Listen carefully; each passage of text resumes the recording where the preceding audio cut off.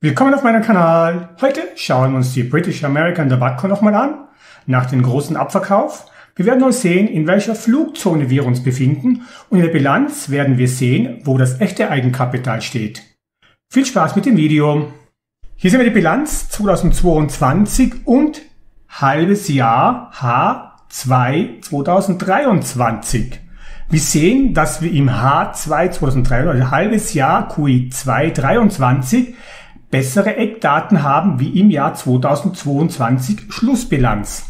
Das heißt, wir haben mehr Nettoumsatz zum Eigenkapital, 12% Eigenkapitalrendite, zur Bilanzsumme 6% und Return on Investment 8,8. Das heißt, mal sehen, wie das Q4 23 aussieht, was im Februar kommt. Ob diese Daten noch besser sind wie im Jahr 2022. Das Preis-Sales-Verhältnis wurde leicht reduziert. Man könnte sagen, der Umsatz zum aktuellen Kurs pro Aktie ist identisch. Das Preis-Buch-Verhältnis wurde aktuell mit dem Buchwert aus der Bilanz 2022 leicht erhöht. Das heißt, das, der Eigenkapitalanteil wurde leicht reduziert. Hier sehen wir den Buchwert pro Aktie aus der Bilanz 2022. Das ist noch nicht der echte Buchwert. Wichtig, das sehen wir später. Hier sehen wir auf alle Fälle, dass das Eigenkapital zur Gesamtverschuldung leicht niedriger ist, aber zu den Langverbindlichkeiten höher ist. Knapp 100 Prozent gegenüber die langen haben wir mehr Eigenkapital. Aber wir haben einen Faktor circa 55, 60 Prozent Verschuldung, Rest Eigenkapital. Aber nicht das echte Eigenkapital. Hier der aktuelle Kurs an der London Stock Exchange, wo zurzeit sehr viele Aktien extrem abverkauft werden.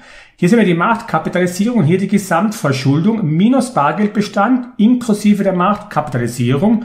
Und wir sehen, wir haben auf alle Fälle einen großen Anteil von Verbindlichkeiten. Die Earnings per Share Trading 12 Month aus Google Finance haben wir mit 390 Great British Pence. Hier das KGV mit 5,8 ist auf alle Fälle mal aktuell sehr günstig, aber wichtig, wenn die Earnings per Share weniger werden, um die Hälfte, haben wir hier ungefähr den Faktor 11 stehen. Zum freien Cashflow auch noch sehr günstig mit 5,52. Alles aus der Bilanz hier 2022, hier Q2 23. Wichtig, der Aktienkurs ist so stark gefallen, das heißt, er preist wahrscheinlich auch Reduktionen im freien Cashflow ein und Earnings per Share. Dividendenrendite aus der Bilanz 2022 circa 10%. Hier die Daten, 5 Jahres Durchschnitt Earnings per Share haben wir den KGV-Anteil aktuell 8,25, zum freien Cashflow 5,8. Das heißt, wenn die Earnings per Share wieder weniger werden, steigt das KGV auf 8,25 und der freie Cashflow weniger wird, haben wir den Faktor 5,8. Eine leichte Erhöhung. Aber wichtig, der Aktienkurs preist irgendwas ein. Die British American Tobacco PLC ist im Konsumstäblesektor tätig, also Konsumgüterhersteller.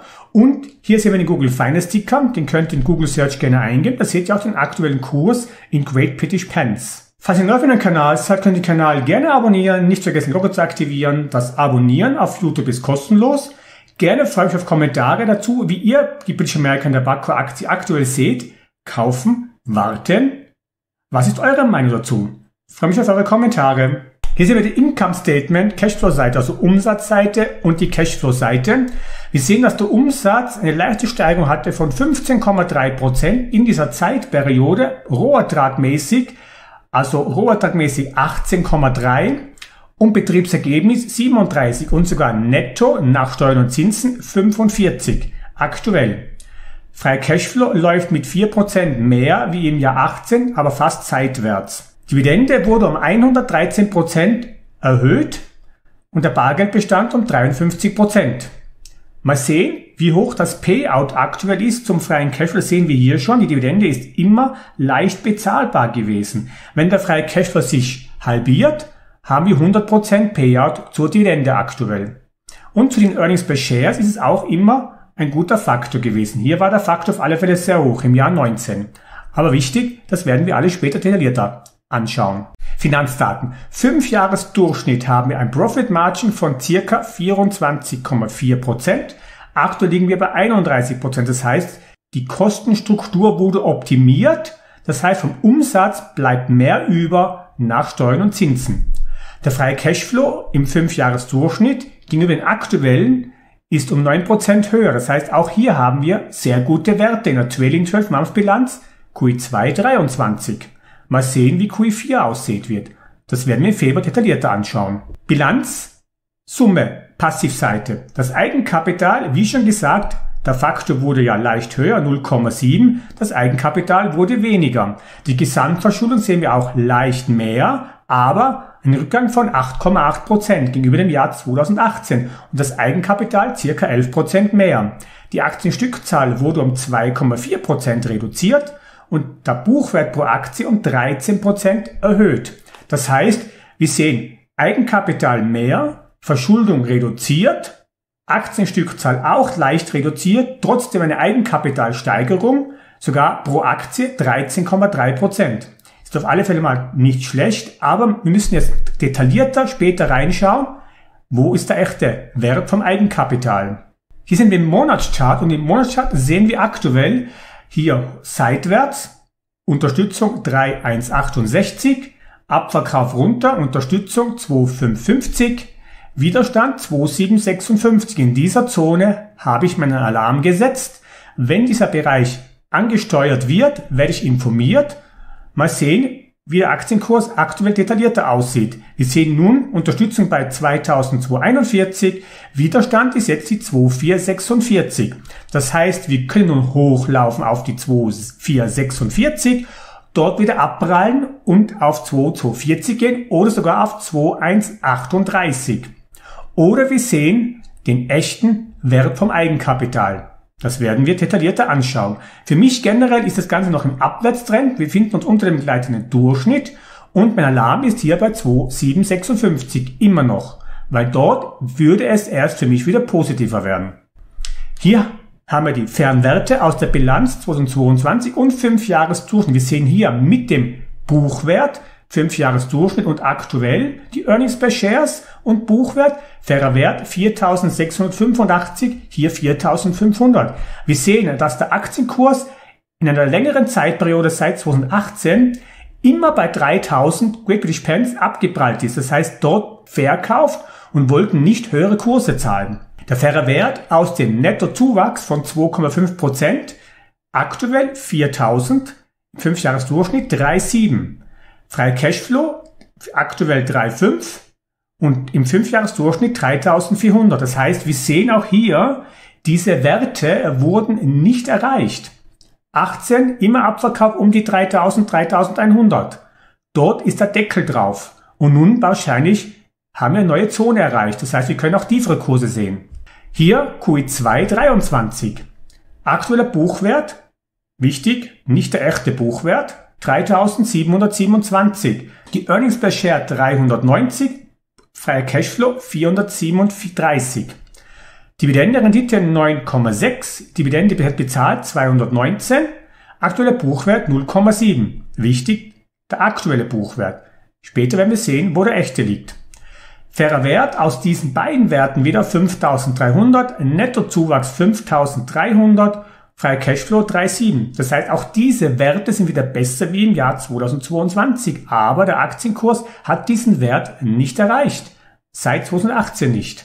Hier Vorausschau, Simulation. Wenn wir das Eigenkapital um 2,2% erhöhen bei Anno, die Earnings per Shares um 7,6% und der freie Cashflow um 0,8, also fast seitwärts läuft, sehen wir hier die Fernwerte, die entstehen bis 2027. Aber wichtig, sind hohe Werte, haben in den letzten fünf Jahren auch noch nie gesehen.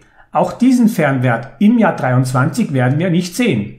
Darum müssen wir nun schauen, warum der Aktienkurs so abverkauft wurde. Hier das Eigenkapital minus Goodwill, QI2 23. Hier das Eigenkapital, hier die Goodwill-Position. Das wäre ein echtes Eigenkapital von 24 Milliarden Great British Pfund und nicht von 72 Milliarden British Pfund. Und der aktuelle Buchwert wäre 2. Das heißt, wir können auf Buchwert 1 runterfallen auf die 1087. Und dann hätten wir den Buchwert 1 und dann wäre die Aktie günstig. Hier die Earnings per Shares aktuell 93. Der faire Wert aus diesen beiden Werten wieder wäre 3000 circa. Dort wurde der Aktienkurs regelmäßig in den letzten fünf Jahren abverkauft. Das heißt, die haben das schon eingepriesen, dass irgendwas von der Goodwill-Position abgeschrieben werden muss. Vorausschau in die nächste Zukunft. Wenn das Eigenkapital, das echte, um 2,2% steigt, wäre der Wert im Jahr 27 auf 1200 Great British Pence. Die Earnings per Share um 7% steigen, wäre das der faire Wert. Das heißt, wir liegen auf alle Fälle mit den 3300 am Peak, wo immer der Abverkauf war, aber mal sehen, ob der Kurs dorthin läuft.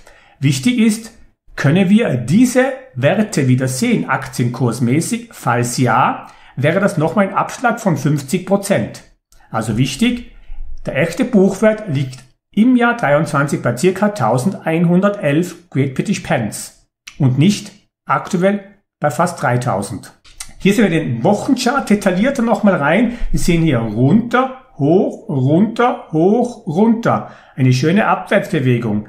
Also die 2,549 auf Wochenbasis, dort drüber zweimal wäre optimal, wäre das positiv, damit wir dann hochlaufen können auf die 2,653 oder auf mein Alarmsignal 2756. Solange wir nun unter die 2344 bleiben, ist das Ganze noch negativ und wir können sogar unter die 241 fallen auf die 2138. Falls die 2241 nicht hält, der Schlusskurs. Wichtig immer der Schlusskurs, nicht die Dochte. Immer Schlusskurs wichtig.